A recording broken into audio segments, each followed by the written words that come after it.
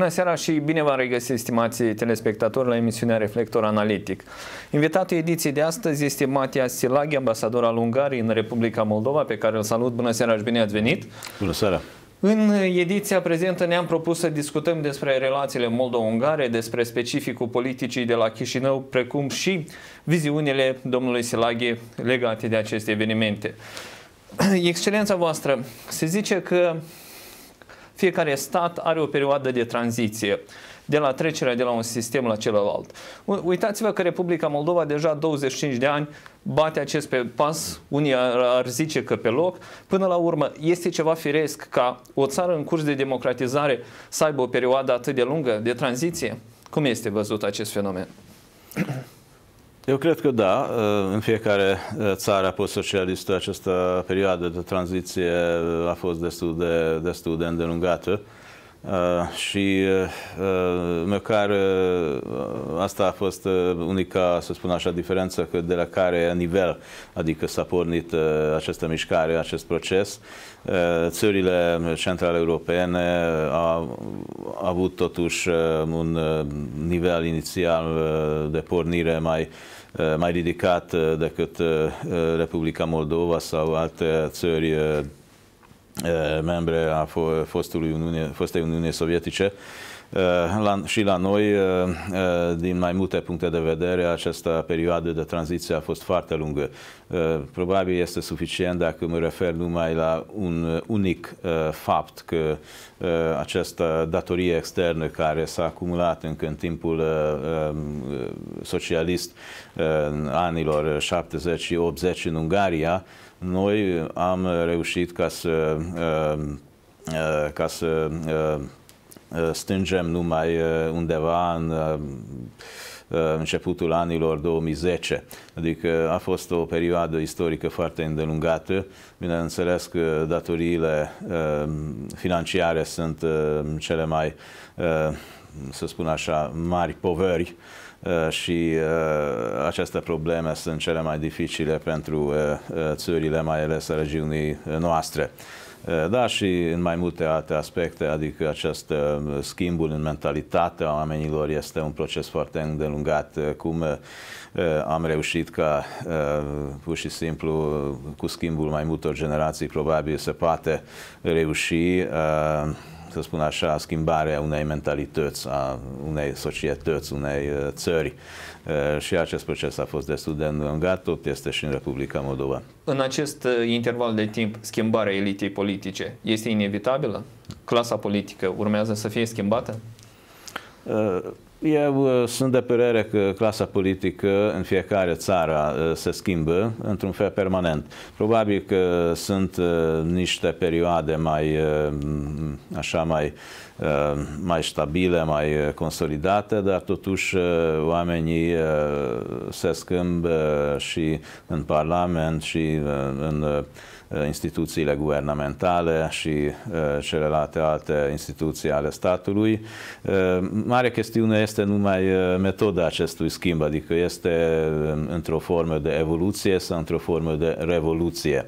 Noi totuși am preferat întotdeauna o așa progresare mai evolutivă și nu în forma Revoluției.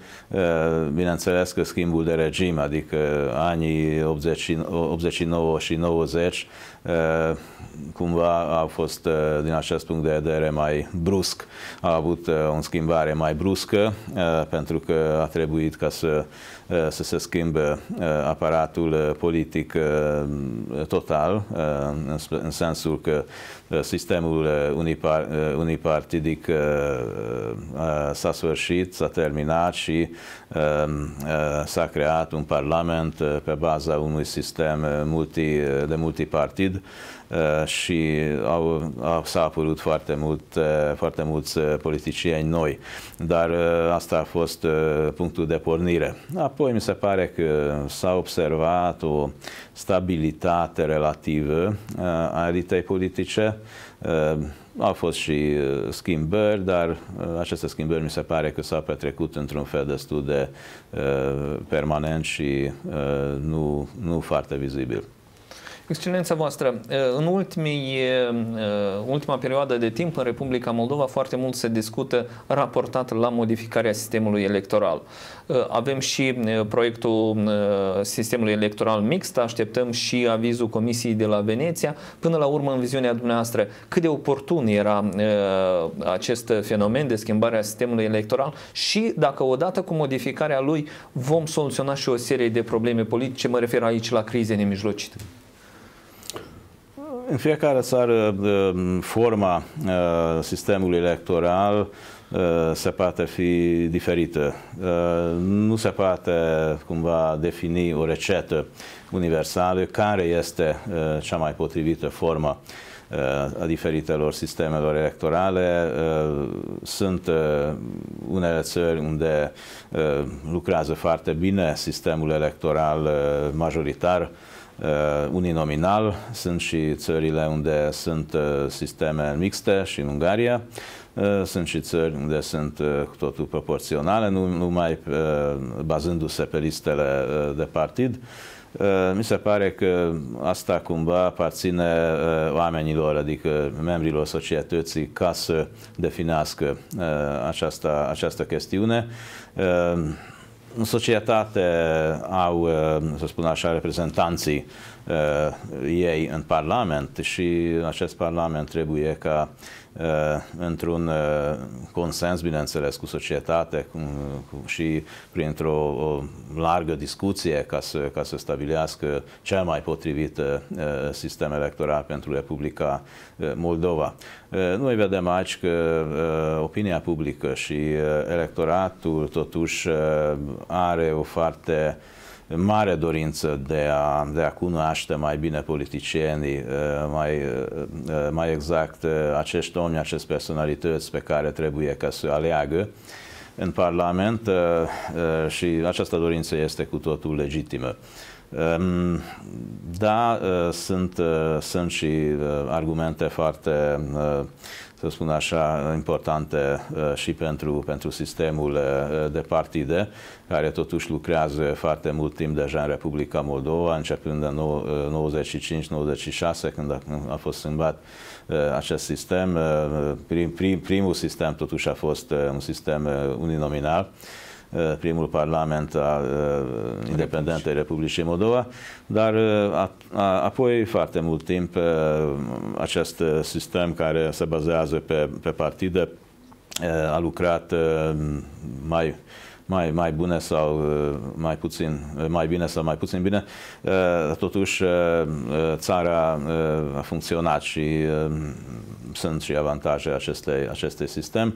Uh, aparține uh, suveran, uh, organelor suverane Republicii Moldova, Parlamentului, ca definească sistemul cel mai potrivit electoral pentru Republica Moldova, subliniez într-un consens, într-o, într discuție largă cu societate, cu oameni, cu NGO-uri, cu acești jucători care Uh, care au uh, ceva de spus și uh, nu se poate, bineînțeles, uita și partidele extraparlamentare care tot pot avea o, o, o, o poziție, o, o opinie foarte prețioasă și tot poate reprezenta o parte a societății.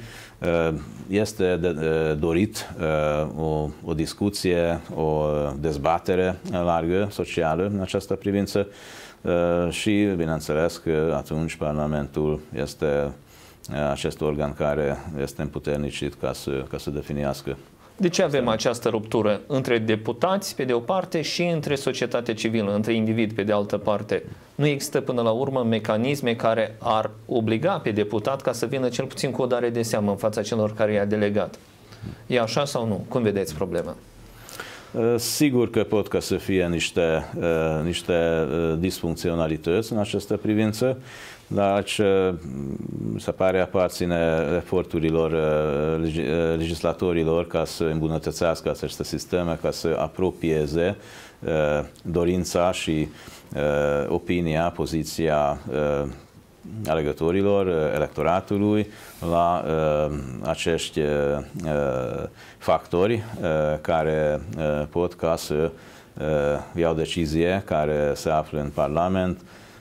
Este foarte important că acești oameni, ca să fie în fiecare moment când se află în Parlament, responsabili în fața de electoratul. Asta este un principiu foarte important democratic. Numărul de deputați este legat în strânsă colaborare cu suprafața țării, în cazul nostru, și când zic lucrul ăsta mă refer la inițiativa mai multor partide politice de a reduce numărul deputaților de la 101 la 71. Există raționament aici? Uh, sigur că da, uh, există și uh, un parlament trebuie să fie funcționabil, trebuie să fie într-un fel așa rațional compus în proporție cu numărul populației și structura administrativ-teritorială a țării. Aici sunt mai multe factoare care pot ca să joacă rol. În Republica Moldova se poate spune că nu, adică mărimea Parlamentului, adică numărul deputaților este în proporție cu numărul populației. Se pare că această discuție că e mai bine 101 sau 70 și unul, asta deja aparține aparține opiniilor diferite a partidelor și probabil se poate spune că este o nuanță care nu prea deja influențează problematica proporționalității Parlamentului cu, cu numărul populației. În Ungaria, de pildă, a avut loc nu de mult o reformă a Parlamentului, că Parlamentul a fost raționalizat. Uh, și noi uh, am avut un număr destul de mare de deputaților uh, în proporție cu populația țării, mai mult decât undeva la 3, 300, 345 deputați pentru o țară cu o populație de 10 milioane de oameni care totuși s-a, dovedit, asta este un parlament unicameral, s-a dovedit prea mult și, și din punctul de vedere financiar și din punct de vedere decizional, adică funcționalității casei deputaților, s-a, decis reducere numărului acestui parlament și numărul deputaților a fost redus la 200. Și acum noi avem părere că acest, cu acest număr Parlamentul funcționează bine. În ultimele două săptămâni s-au accentuat și discuțiile axate pe reforma guvernului. De la 16 ministere să ajungem la 9. Ce părere aveți? Tot este vorba despre funcționabilitatea guvernului, dar și economisirea.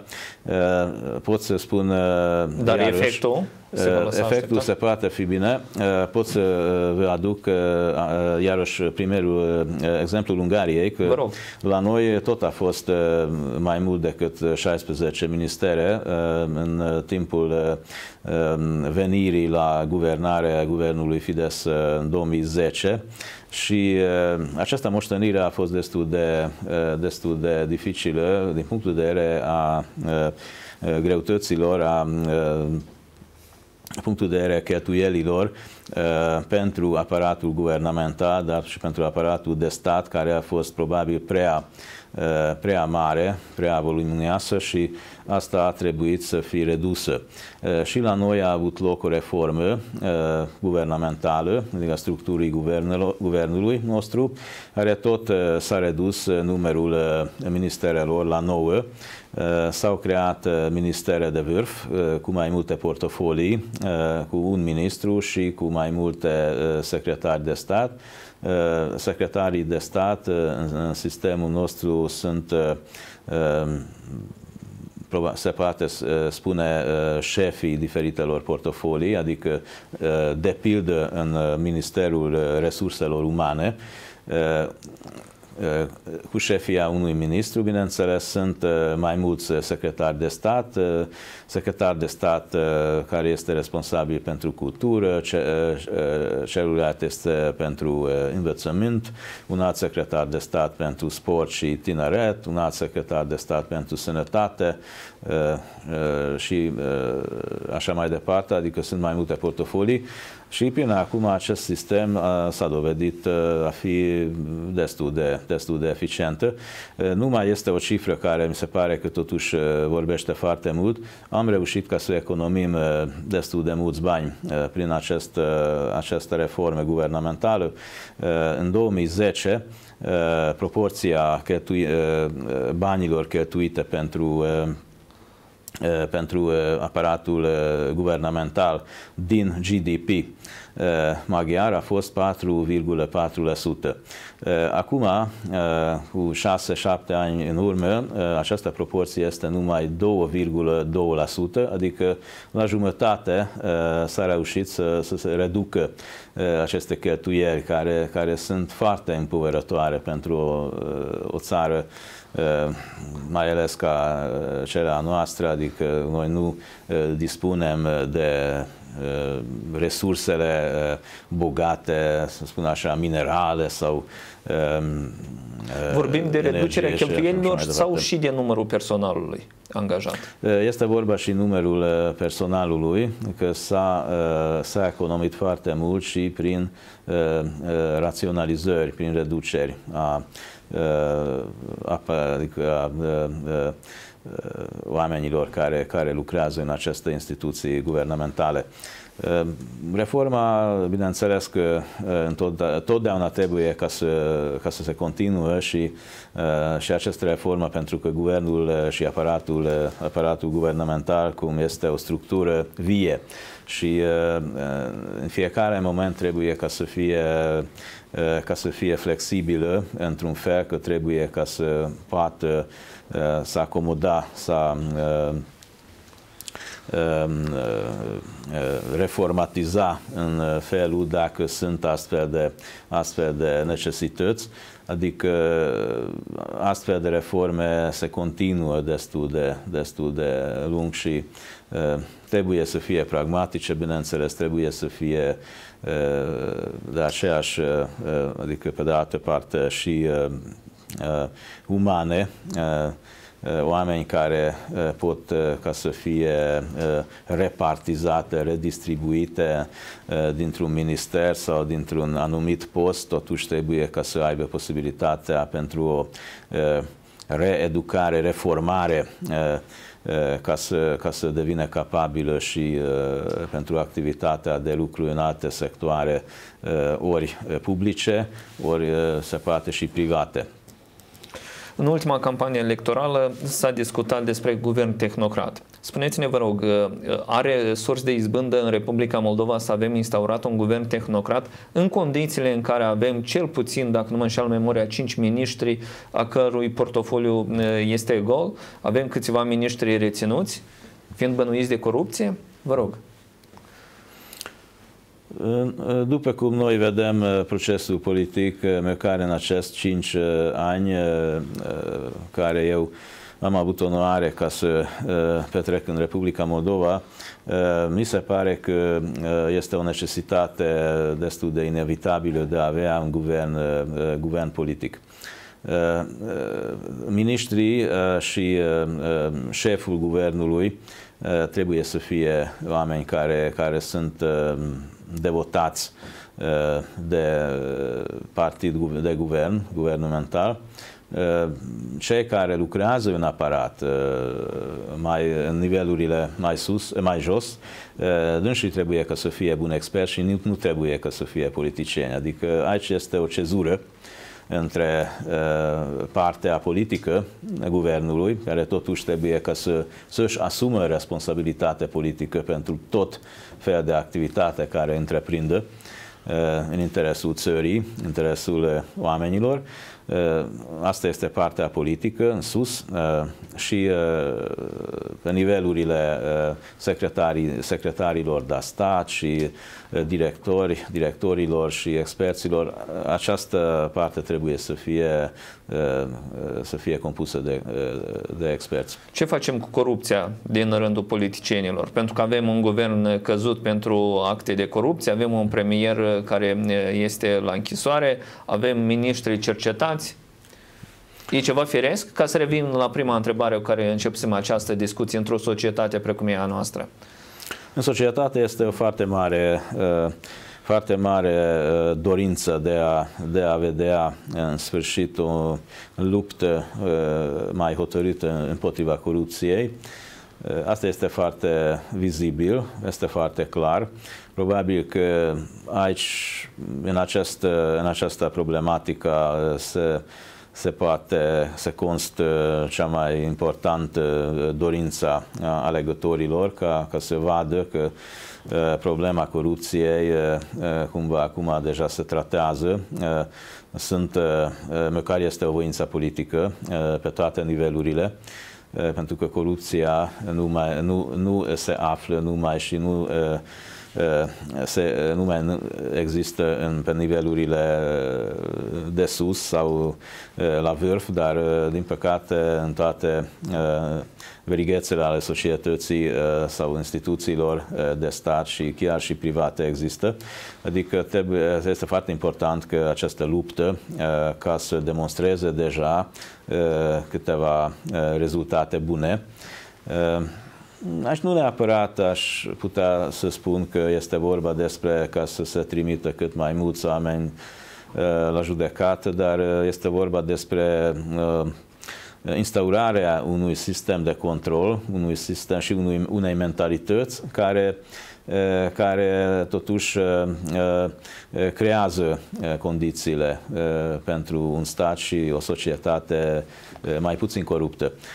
Aici foarte important este totuși și dezvoltarea economică, fără o anumită așa, dezvoltare a bunăstării oamenilor.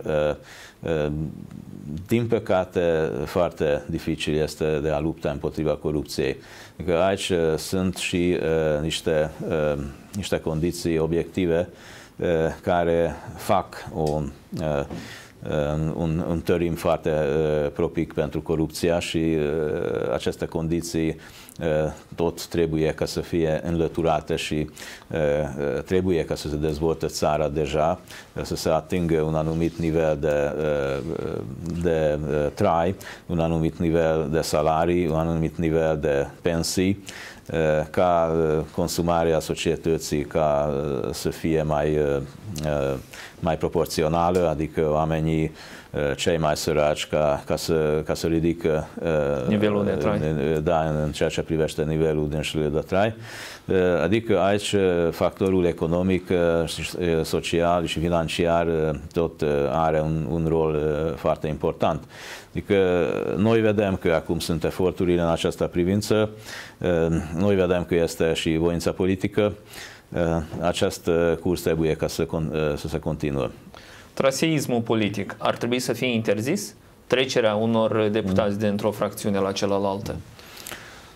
Uh, această problemă este foarte gravă și uh, sunt foarte mulți uh, experți, uh, foarte mulți observatori politici uh, și în străinătate și în Republica Moldova care pun pe primul loc această problemă după gravitatea sa în viața politică.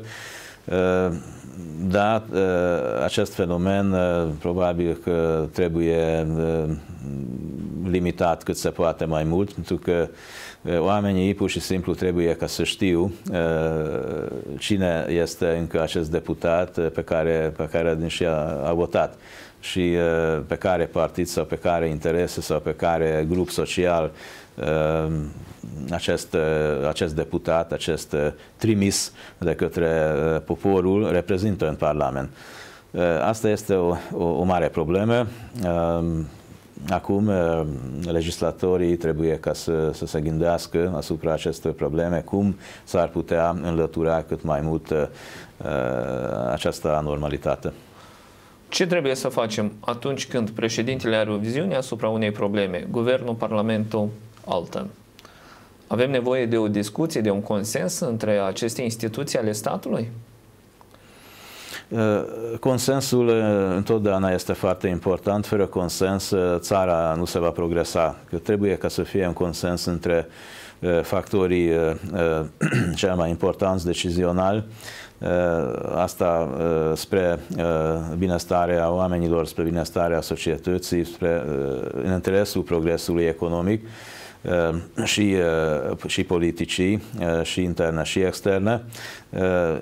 Eu consider că măcar în chestiunile cele mai importante, acest consens este, este inevitabil. Pur și simplu, fără acest consens nu se poate funcționa țara.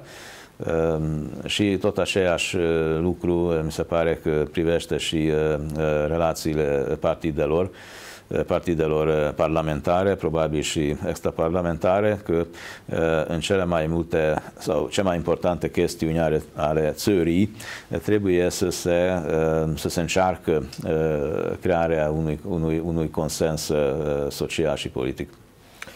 Spuneți-ne, vă rog, Republica Moldova este dependentă de finanțarea externă? Până la urmă, ați vorbit ceva mai devreme despre factorul economic, care rămâne a fi esențial într-o dezvoltare a unei țări, în condițiile în care Republica Moldova nu are o economie atât de durabilă. Economica Moldova este uh, super uh, dependentă uh, de efectele din străinătate. Eh, este o țară care eh, depinde pur și simplu de la eh, comerț, comerț exterior și foarte important ca întotdeauna ca să fie asigurate aceste surse ale finanțării externe din diferite părți. Scopul final ar fi în, în acest proces, în aceste eforturi, ca Republica Moldova ca să se întărească într-un fel financiar uh, până la uh, avea posibilitate uh, de a fi finanțată de la, de la piața financiară privată externă. Acum lucrurile sunt foarte departe de această stare și Fondul Monetar Internațional, Banca Mondială, Uniunea Europeană sunt finanțatori Uh, primordial al uh, țării și uh, foarte important este acum modalitatea cum se utilizează aceste mijloace financiare. Mai ales trebuie să fie utilizată în interesul creșterii economice, interesul întăririi, întăririi capacității de a face față cu competiție. Și aici mi se pare că trebuie să fie foarte stricte Uh, și um, aceste factori care controlează uh, și uh, de către guvernul diferite organizații de stat, dar și de către donorii externi utilizarea acestor mijloace financiare. Eu repet, cel mai important este creșterea economică, productivitatea economiei și capacitatea de concurență. Analiștii economici zic că principala sursă de existență a Republicii Moldova rămân a fi remitențele concetățenilor noștri. Dacă am merge pe această idee, ar trebui să ne străduim ca să avem deschise relații de, de colaborare și hotarele nemijlocita mai multor țări pentru a putea aduce în țară mai multe mijloace financiare? Putem lua în calcul o asemenea idee? Asta este în, în orice fel favorabil dacă uh, țara respectivă are mai multe uh, posibilități, mai multe uh, opții de a alege printre diferite construcții financiare din străinătate. Dacă sunt mai mulți potențiali donori organizații financiare, dar și țări care, care sunt gata ca, ca să vină cu Uh, cu investiții, uh, cu diferite uh, feluri de asistență financiară. Aici cele mai fezibile, cele mai optime sunt aceste forme care creează o creștere, creează o producție în țară, care sunt competitive. Uh, acum uh, este o sarcina, uh, aș putea să spun, foarte importantă a instanțelor, instituțiilor financiare a Republicii Moldova, mai ales a băncii naționale și diferitelor instituții guvernului, care Ministerul, bineînțeles, Finanțelor și altor direcții, care se ocupă de Uh, identificarea acestor posibilități, acestor surse, acestor parteneri uh, din străinătate care pot ca să fie uh, folositori din punctul de vedere creșterii economice a Republicii Moldova. Nu este o sarcină ușoară, sunt foarte multe diferite riscuri și chiar sunt, sunt, sunt niște pericole potențiale. Aici tot vine problematica responsabilității politice, adică totuși conducerea, totuși guvernul trebuie ca să-și asume această responsabilitate. Noi vedem și noi acum că se întâmplă acest lucru ca să, ca să rezolve această Uh, sarcină foarte, uh, foarte dificilă de a identifica modalități și, uh, și constelații bune, competitive și eficiente pentru a turna aceste, aceste mijloace spre un potențial creștere economică. Partidele politice din Republica Moldova oscilează între vest și est. Președintele Dodon a promis că va încerca să fie în relații bune atât cu vestul cât și cu estul. Cât de reale sunt aceste posibilități de a menține relații de colaborare și de prietenie cu ambele uh, extreme? Probabil că aceste două uh, chiar nu sunt extreme. Din punctul de vedere economic, uh, uh, noi considerăm că aceste două componente ale uh, Uh, economiei mondiale, economiei europene, trebuie ca să se, ca să, se, uh, um, uh, ca, ca să fie așa într-o unică activitate, o, într-o, într-o chiar și într-o cooperare în interesul țărilor respective, Uh, foarte important ca uh, toate posibilitățile economice externe să fie utilizate. Uh, în situația Republicii Moldova, eu cred că totuși și piața și din Europa, Uniunea Europeană este foarte importantă, dar și piețele estice sunt foarte importante. Aceste două componente ale politicii externe economice trebuie ca să, ca să fie utilizate într-un fel paralel dânsii nu, nu trebuie ca, ca, să, ca să se afle în contradicție, în contradictorie. Ehm, este eh, important eh, o, spun așa, o ehm, eh, diferențiare a relațiilor economice.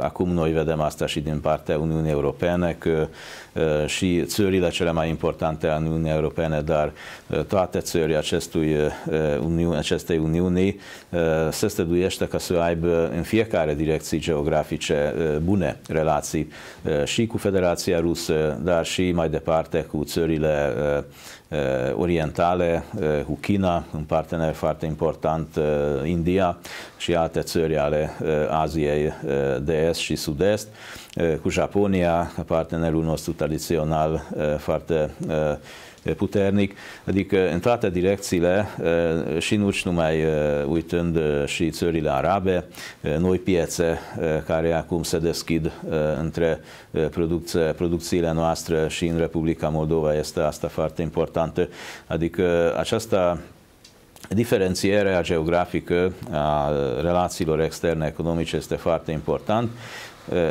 Bineînțeles, Moldova are acum o foarte mare perspectivă în în acest sens că trebuie ca să folosească toate posibilitățile, toate potențialele a comerțului cu Uniunea Europeană, încă noi suntem foarte departe de asta, adică trebuie ca să fie toate contingente asigurate pentru Republica Moldova, pentru exportul în țările Uniunii Europene trebuie să fie folosite.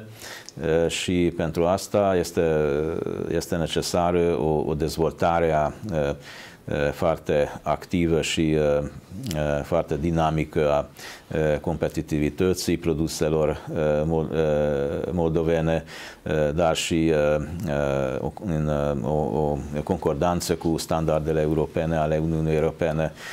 Aici este, este o necesitate unei dezvoltări infrastructurale foarte intensă și foarte multe, foarte multe investiții trebuie să se facă în această privință. Eu văd că acum a, a, a început acest proces, trebuie ca să continuăm cu toate forțele noastre, adică și țările Uniunii Europene și alte donori din fiecare direcții orientale, dar și occidentale trebuie ca să contribuie la acest lucru. Domnule ambasador, Uniunea Europeană trece printr-o criză? Uniunea Europeană trece acum prin discuțiile foarte, foarte dinamice, foarte active în mai multe privințe și sunt multe chestiuni care până acum cumva se trebuie să, să se găsească, să se găsească răspunsuri în, în legătură cu viitorul Uniunii Europene. Aici, acum mai vedem că sunt și discuții foarte intense. Noi sperăm că la toate aceste chestiunile, într-un, probabil într-un proces îndelungat, într-o discuție îndelungată, dar totuși uh, se vor găsi uh, răspunsuri respective. Și în economia și în ceea ce privește problematica financiară, adică legată cu uh, valuta comună ale Uniunii Europene și în ceea ce privește problematica bugetară, dar și în ceea ce privește problemele fluxului migrațional spre Uniunea Europeană, dar și din punctul de vedere diferitelor, diferitelor provocări de tip de securitate, de apărare și așa mai departe, adică aici acum sunt, spun așa, o, este o dezbatere foarte vie, foarte active în toate forurile. A fost deja așa, adică nu este o noutate pentru Uniunea Europeană, pentru comunitatea europeană. Am avut deja perioade eh, mai eh, eh, mai pline cu dezbateri și acum este o astfel de perioadă care este strâns legată cu fenomene ale economiei mondiale, cu aceste crize care noi am trăit în anii 2010 Uh, crizele economice, financiare și acum noi uh, facem tot, ne străduim ca să, ca să găsim uh, răspunsuri. Domnule ambasador, vreau să revenim uh, în Republica Moldova și să vă întreb. Acest proiect uh, axat pe sistemul electoral uh, mixt propune de fapt 25 de mandate pentru cei din stânga Nistru și pentru cei din diaspora. Haideți să vedem, este o modalitate de a soluționa conflictul transnistrean pe care îl avem din 1992 aici și dacă este reală această propunere ca să fie implementată. Sigur că foarte important este ca partea transnistreană din stânga Nistrului tot să fie reprezentată în organele, organele legislative ale Moldovei. Adică noi considerăm un stat uh, uh, integru și trebuie să fie uh, un stat integru. Eh, dar, eh, pe de altă parte, nu putem ca să facem abstracție de eh, starea actuală a lucrurilor, ca totuși este un, o stare un conflictuală sau un conflict ca acum într-o, într stare pasivă care cumva trebuie ca să se reglementează și mi se pare că în paralel cu reglementarea acestei, acestei situații uh, și cea mai uh, probabil cu uh, reglementarea, cu elaborarea unui statut special pentru această teritorie, acest teritoriu, trebuie ca să fie elaborat și sistemul unei, unei reprezentativități, unei reprezentanțe acestei, acestei regiuni.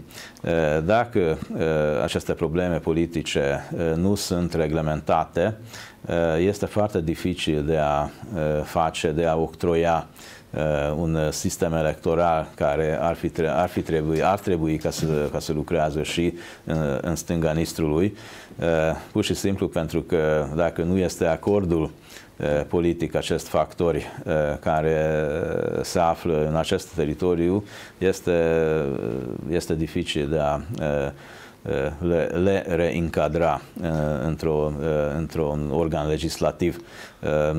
Probabil sistemul actual lucrează cu mai mulți sau câțiva secții de votare până acum, cum asta s-a întâmplat, și votarea în aceste, aceste secții de votare de către locuitorii Transnistriei care au dorit ca să participe la, la alegerile parlamentare dar bineînțeles că asta este numai, numai o uh, rezoluție parțială, adică nu, nu, nu, se, nu a rezolvat uh, problema uh, în substanță.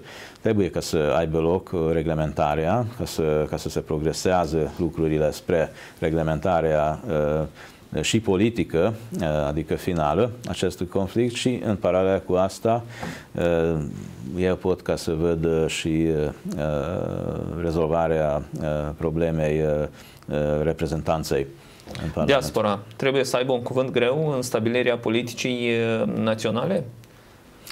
În această privință sunt mai diferite păreri. Eu știu că o parte a societății este de părere că da, pentru că acești oameni sunt contribuitori, contribuabili prin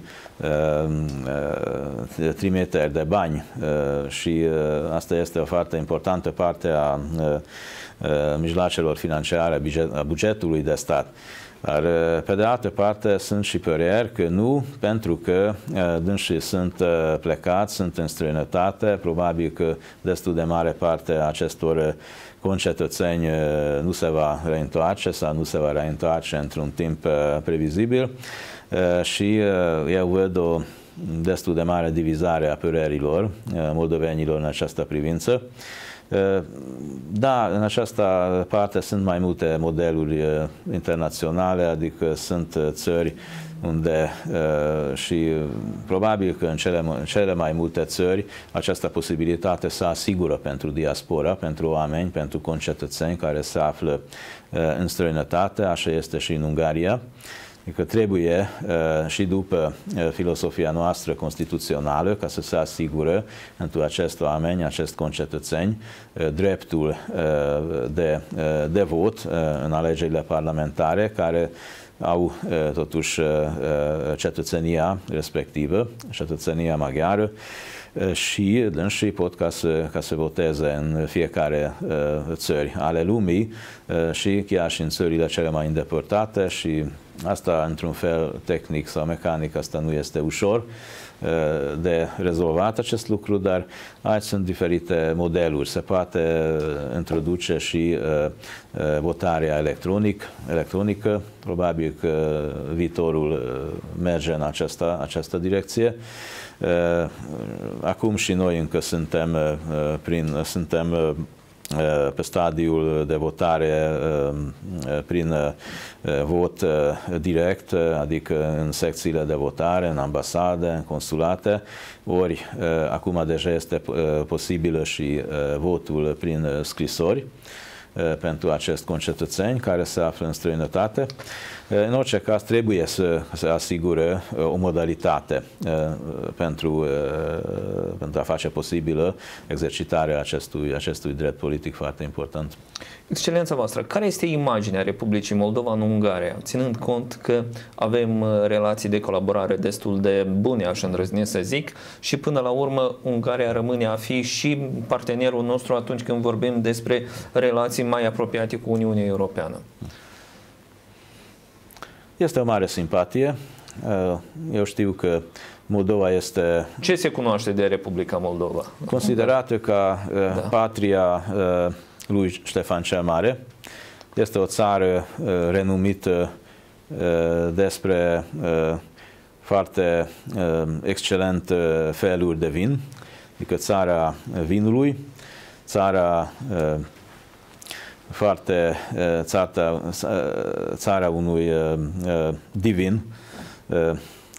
S-a, numit coniac, dar da. coniacul este în Franța, adică da. trebuie să spunem divin, care totuși este foarte gustos și este pe nivelul, pot să spun, cel mai înalt mondial.